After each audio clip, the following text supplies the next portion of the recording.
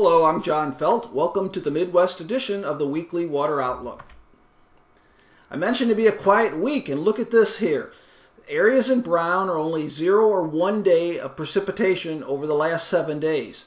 Most of the Midwest is very few days over the last seven days, but you can see along the Nebraska Iowa border where we really need some rain.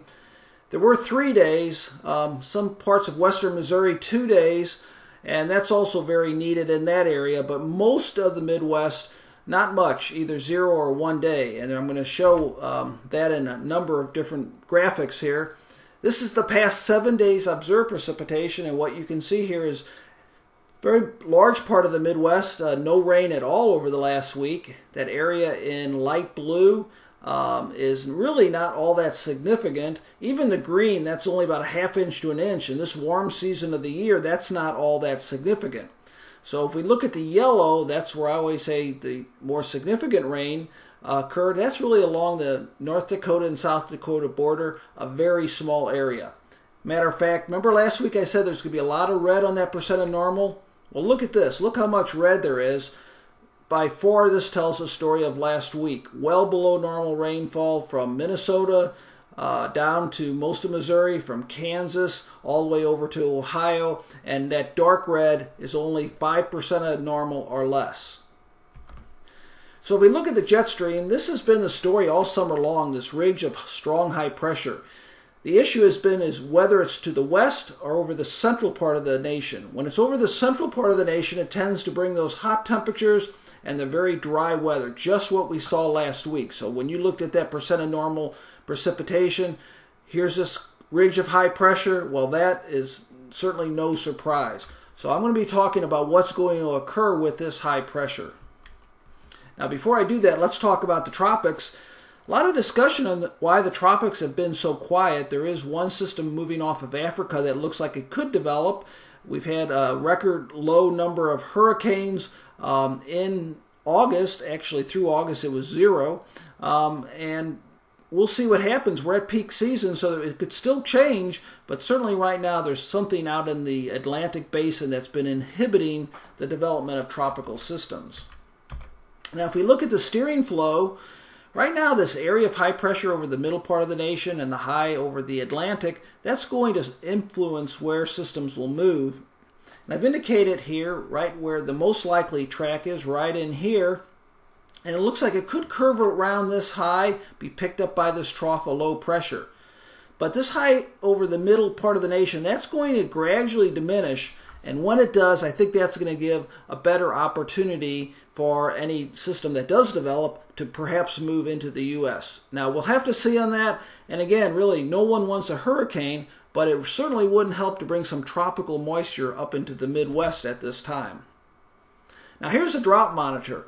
You know, if, you, if you've been listening to my briefings, you might have noticed um, probably a couple months ago, the start of summer, I've been watching precipitation patterns and sort of focused on northern Missouri, Iowa, into Minnesota.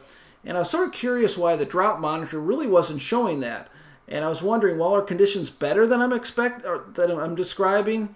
Well, actually, I think what it is is I was sort of focusing on the precipitation, and the drought monitor focuses on the impact, and that's why that lag uh, occurred. So here you can see the impact has caught up, and it's definitely very extreme. What we have here is that area of dark um, brown, Iowa, Missouri, parts of surrounding states. That's a D2 drought or a severe drought. And just as importantly is how it's expanded. This started off as sort of a dot, and now it's really expanded very, very quickly. Another way to look at that is um, how it has changed over certain time periods. Let's look at four weeks. This brown here is a one or two class degradation.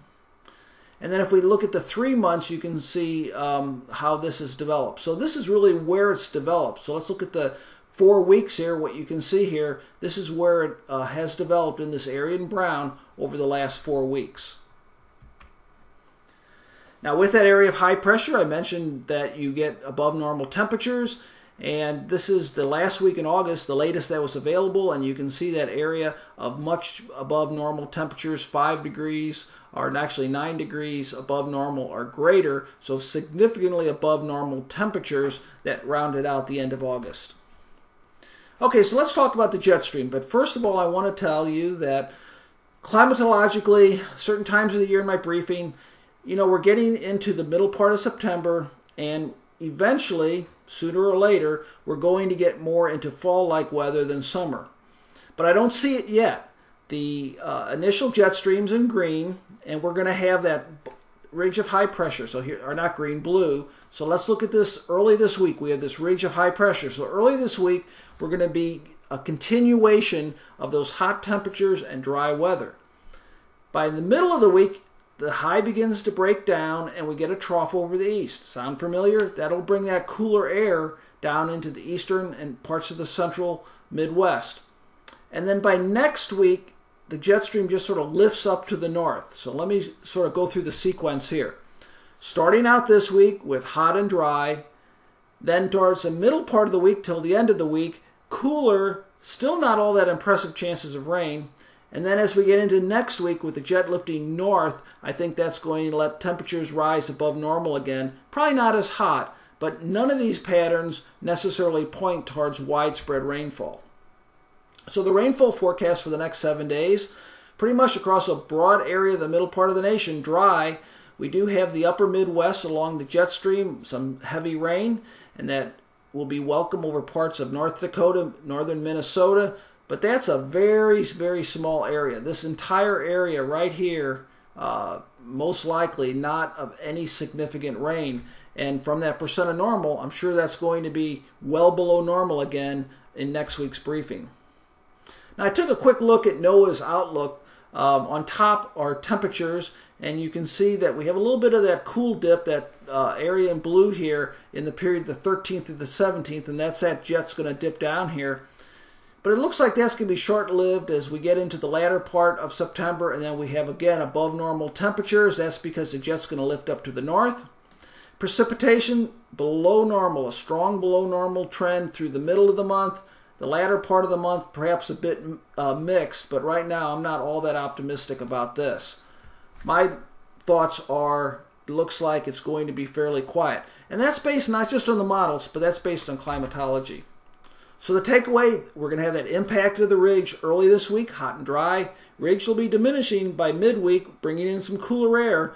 But generally, we're in a quiet pattern that'll be trending warm and dry through the latter part of the month. Thanks for listening to this week's briefing. I'll be talking to you again next week.